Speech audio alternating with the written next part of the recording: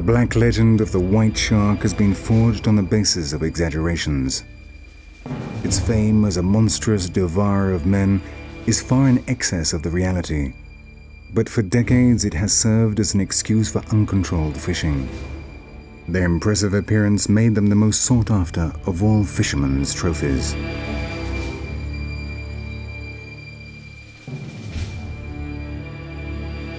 In reality, attacks on humans are rare and strangely many of the victims survive. Like these three mutilated men who now spend their lives killing the white sharks that attack them. Why has such an efficient predator left so many men alive? The myth of the man-eater, which began with the reconstruction of the enormous jaw of a now extinct relative of the great white, is slowly being replaced by fascination for such a unique animal.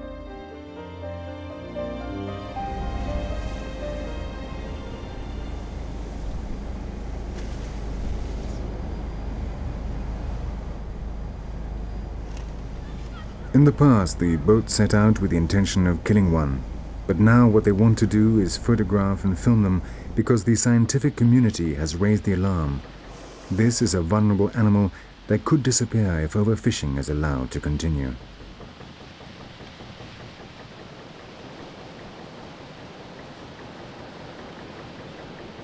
Proof of how mercilessly the great white has been hunted down is the fact that they are now increasingly difficult to find. They are most common in South Africa and here in Australia, coinciding precisely with the largest colonies of seals and sea lions.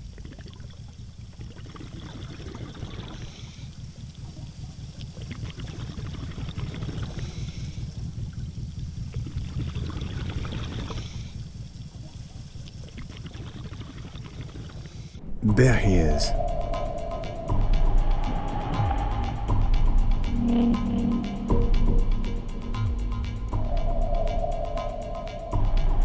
The white shark possesses the curiosity of all prowlers, and so it will almost certainly be attracted by the series of stimuli that have been prepared for it. The cages guarantee the safety of the camera operators, who with their flippers and neoprene diving suits look dangerously like the sea lions the whites usually eat.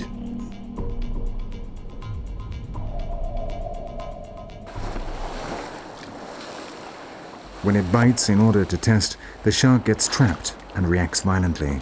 It becomes nervous and pulls at the cage, shaking it and its contents. A violent encounter provoked on purpose, but almost the only way to establish any kind of contact with this mystery of the oceans.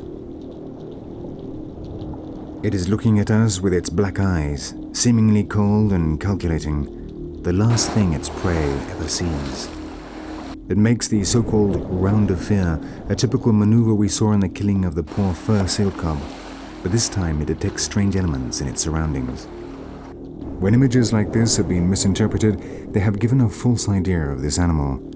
For it, this is a very strange situation, not without its normal parameters, but it does allow us to admire the most feared predator on the planet.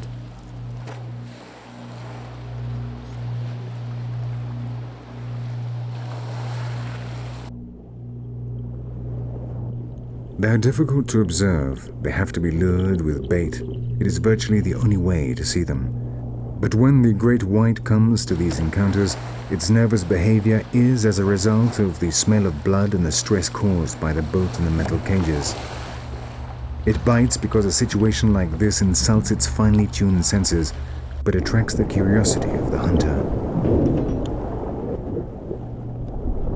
We now know that the white shark only attacks men by mistake or in self-defense. When in these cloudy waters, it mistakes them for its normal prey, the sea lions.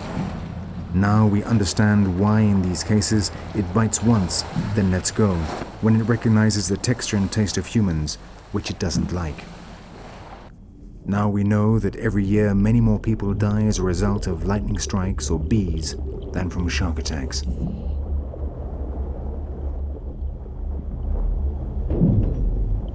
It is so elusive that in seas where there are now hardly any seals and the white sharks eat any other prey that don't resemble man, not only are there no attacks, but people don't even suspect they exist.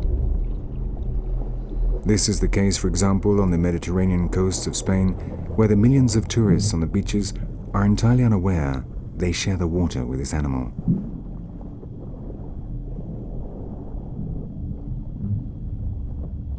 Great white, which can live for around 40 years, does not reach sexual maturity until it is 10 years old.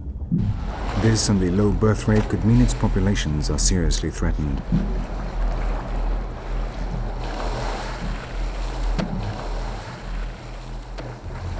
This fantastic animal is a symbol of the sea in which it lives, a sea which we are threatening, a much more deadly threat than the great white.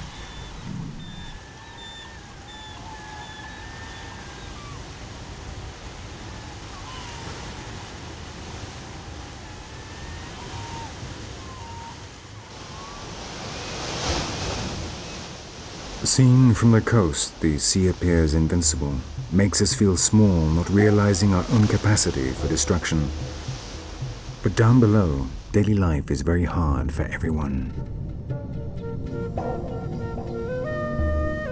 Both for the fish living in contact with the seabed and those whose lives are spent between two waters, finding food in the ocean is never easy.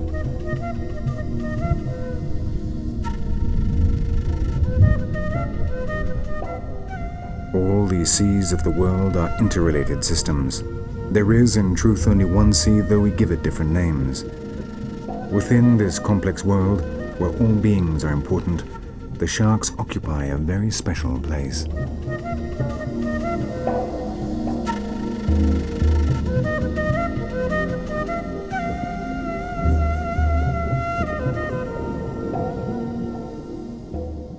It is relatively easy to defend the great white, but there are 350 other species of shark increasingly threatened by overfishing, with virtually no one paying any attention to their plight.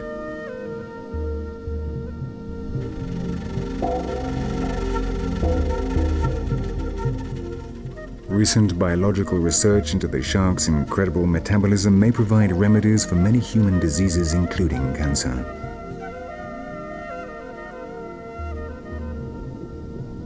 The scientific community is increasingly looking to the sea as a source of new substances with which to work.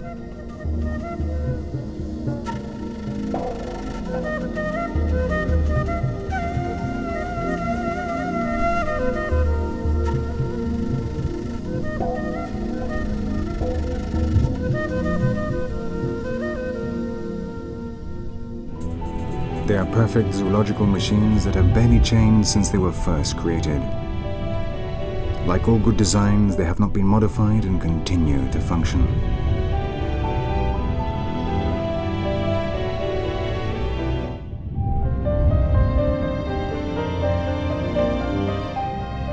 The two types of marine ecosystems around Australia, the one that depends on their nutrients from the Antarctic, cold and cloudy, and the one that feeds directly on the sun, light and warm, have revealed just a tiny part of their many secrets.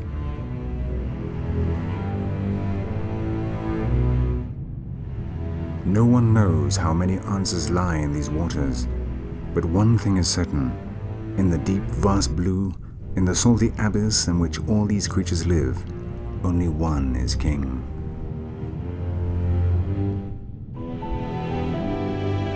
Carcharodon carcharias, the White Death.